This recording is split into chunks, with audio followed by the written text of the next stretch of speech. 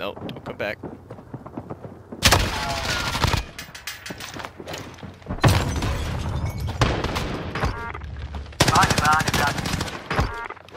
Oh my god. Another guy in the car. Stop, oh